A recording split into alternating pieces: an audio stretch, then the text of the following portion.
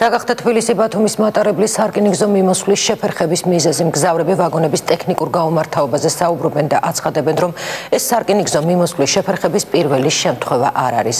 ვაგონების ტექნიკურ გაუმართავობას აღიარებს რკინიგზის დეპარტამენტიც და მგზავრებს ბოდიშს უხდის. სანდრო ვეფხვაძე მოგითხრობთ ახალგაზრდა იურისტთა ასოციაციის წევრი სულხან სალაძე, რომელიც 2 თებერვალს ბათუმი თბილისის მატარებლით მგზავრობდა, ამბობს, რომ ძაბის ვარდნის გამო 3 საათზე მეთხანს ზესტაფონსა და ხარაგაულს შორის გაჩერებულ ვაგონში იმყოფებოდა. სალაძის თქმით, ეს მატარებლის გაუმართლობის პირველი შემთხვევა არ არის. მე პირადად მეხუთე ჩემი მომთხა მსგავს შემთხვევა, მაგრამ ეს რაც ახლა მოხდა, ეს იყო ყველაზე თქვა დიდი და ყველაზე დროში თქვა გაწელილი პროცესი, ვინაიდან რეალურად ამან ძალიან სწრაფი მოქმედა მგზავრების განწყობაზე. სამწუხაროდ კინიგზისგან რაღაც ოფიციალური სპეციალურად კვალიფიციური და დასაბუთებული პასუხი რატო ხდება ეს, როდის გამოსწორდება, რა იწევს, ამ მსგავს ტიპის პასუხი სამწუხაროდ ამეტავამდე ჩვენ არ გვინახავს. მომხდარის გამო ფრთხილობენ რკინიგზის სადგურზე მყოფი მგზავრები. მათი თქმით, ის პრობლემები, რომლებმაც რეისის შეფერხება გამოიწვია, სასწრაფოდ უნდა აღმოიფხვრეს.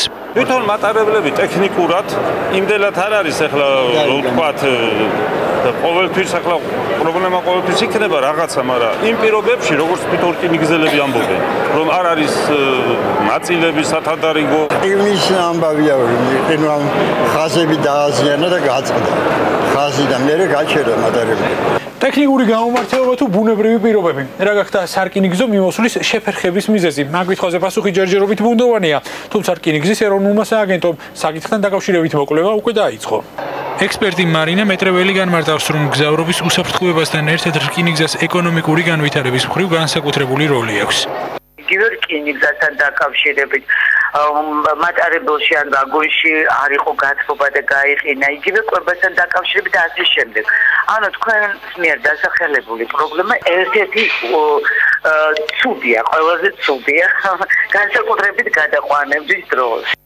საქართველოს რკინიგზა სპეციალურ განცხადებაში საზოგადოებას ბოდიშს უხდის შექმნილი დისკომფორტის გამო და მზადყოფნას გამოთქვამს გზავრებს ბილეთების საფასური აუნაზღაუროს. განცხადებაში ქართული რკინიგზის მოდერნიზაციის აუცილებლობაზეა საუბარი. თუმცა რა პრევენციულ ზომებს გაატარებს რკინიგზის ხელმძღვანელობა მსგავსი ფაქტების აღმოსაფხრელად ჯერჯერობით უცნობია.